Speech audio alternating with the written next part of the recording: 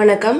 YoYo TV சேனலில் இன்றைக்கி என்ன பார்க்க போகிறோம் அப்படின்னா டெஸ்ட் நம்பர் தேர்ட்டி எயிட் தேர்வு எண் முப்பத்தி எட்டு தான் பார்க்க போகிறோம் அதில் முதல் வீணாக பார்க்கலாம் பாருங்கள் உணவு ஆற்றலை தரும் ஆக்கக்கூறு எது? Option A carbohydrate option B நீர். ஆப்ஷன் சி கொழுப்பு. ஆப்ஷன் டி வைட்டமின் இதில் ஆன்சர் எதுன்னு செலக்ட் பண்ணுங்கள் அதிக புரதம் உள்ள உணவு எது? ஆப்ஷன் ஏ உளுந்து. ஆப்ஷன் பி ஜீரகம். Option C soyabeans option D beans இதில் ஆன்சர் எதுன்னு செலக்ட் பண்ணுங்கள் ஆன்சருக்கு டிஸ்கிரிப்ஷன் லிங்கில் இருக்குது செக் பண்ணிக்கோங்க.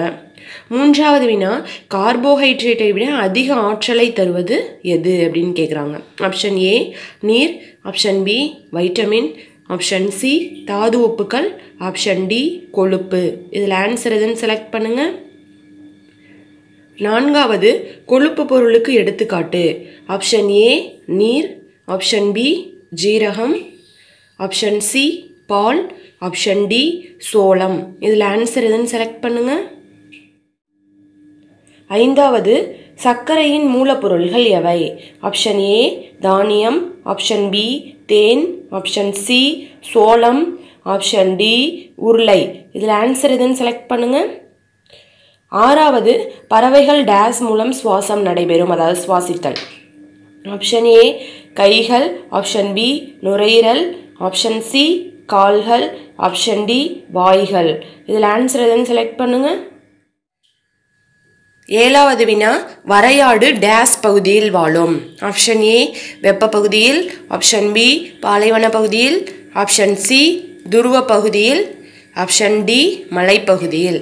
இதில் ஆன்சர் எதுன்னு செலக்ட் பண்ணுங்கள் நார்ச்சத்து நிறைந்த மூலக்கூறு எது? ஆப்ஷன் ஏ கொட்டை உணவு. ஆப்ஷன் பி மாமிசம்.